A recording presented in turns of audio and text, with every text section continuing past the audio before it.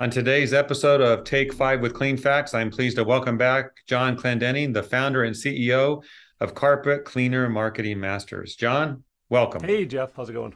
It's going great. How are you these days? Doing good. Doing good. Good. Today, we're going to talk about where is the best place to market your cleaning or restoration business online. I think everyone thinks it's got to be Google, but it must be more than that. What's your answer to that? Yeah, so it's a question we get every single day um, from you know just people wanting to know about our services and also just in general um, friends that have been in the industry for years. John, what do I do? Um, the answer is actually the best place to market is anywhere and everywhere that you're um, that has the attention of your ideal customer already. So the whole goal of digital marketing is to maximize the number of leads that you can get online from the sources where the people hang out the most. That sounds like a lot of work. So it must take a plan. How do you begin to develop your own digital marketing plan with that in mind?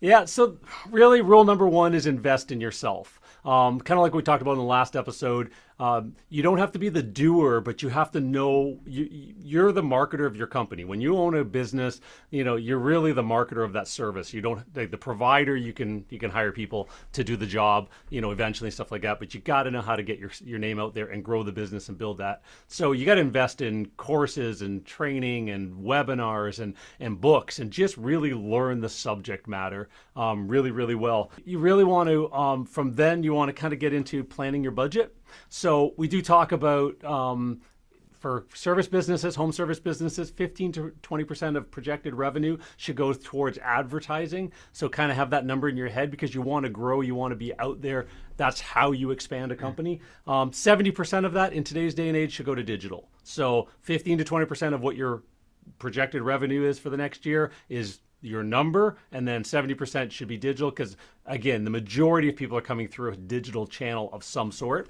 Um, and then the final one is you want to track every lead. So we're in a digital world now. Tracking is so much easier. You can have call tracking numbers on things. You can have what are called UTM codes and pixels and all of this stuff. You can nowadays track from the moment someone enters your funnel, their crazy journey through it and the different things they saw and the pages they went to, and might have come back a week later and all that stuff. And then when they finally become a phone call, a lead, uh, that then turns into a job and finally the end booking, you should be able to track as much of that journey as possible and attribute what was working best for you, what attracted their attention, and how it landed into ROI in your pocket.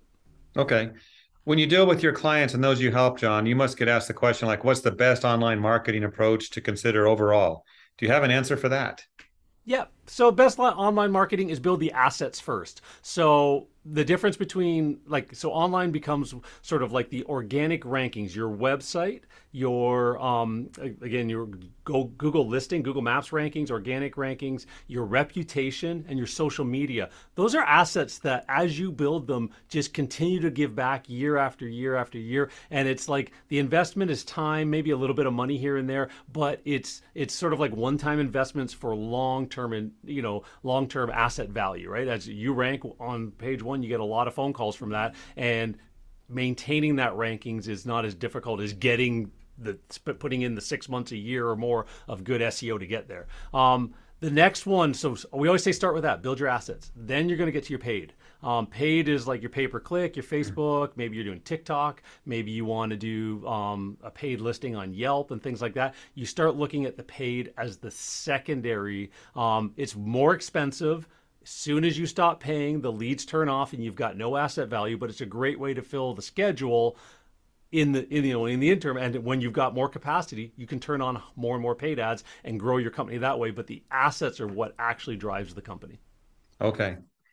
So those watching this that they might love what they're hearing. They might be a little overwhelmed but you know the question is where do they start? Yeah. what's the first thing? Um so start get educated. Um learn learn what it is you don't know, kind of understand what digital marketing is for service businesses. Um, you, if you're hiring it out, which is great, at least know what you're hiring. Don't just be all in on one strategy because that that's never really a great idea. Um, you want to take stock of where you currently are at as well. So what that means is um, there's lots of online free tools to get um, sort of a snapshot of your visibility, check your competitors, all of that kind of stuff get with a digital agency that can run an audit for you figure out what you what you are doing well. Hey you're ranking really good here but you're completely invisible over here that kind of stuff. What are you what's actually working for you to drive leads and what isn't?